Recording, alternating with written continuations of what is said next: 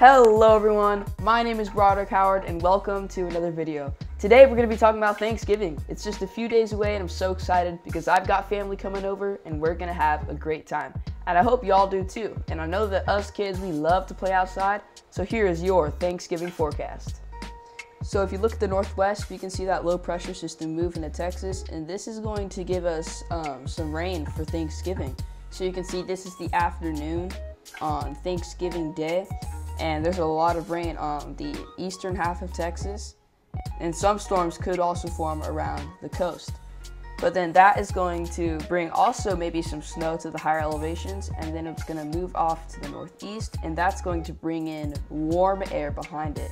Currently in Texas, highs are in the 50s and lows are in the 30s and 40s, but after this storm moves through, behind it, warm air is going to get pulled into Texas, and highs will be in the 60s, 70s, maybe even 80s down south, and lows will be in the 50s and 40s. There is a low end severe weather threat on Thanksgiving Day for southeast Texas, more specifically Houston, almost to Corpus Christi. These storms are not expected to be super intense, but y'all probably are not going to want to be outside for Thanksgiving. There's also a low end flash flooding threat throughout southeast Texas because heavy rain could be falling for a long time, and in some areas we will be seeing some localized flash flooding, but nothing too extreme. Here's a closer view of what this rain could look like as it happens. So this is on the night before Thanksgiving, and the rain becomes more widespread and intensifies throughout the morning.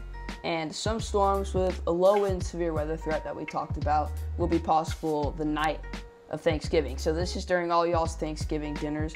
So eating outside is probably not going to be an option in these areas. Y'all are going to want to move it inside. And then as these storms move off to the east, we can see there's going to be some snow in the back end of that and the panhandle. And that's going to keep moving through the panhandle and then dissipate as it moves off to the northeast. As y'all saw in the models, the backside of the storm is going to be accompanying some snow. And it's going to be bringing the snow to the Texas panhandle. But there's still some uncertainty as to where this snow will be once it's all said and done.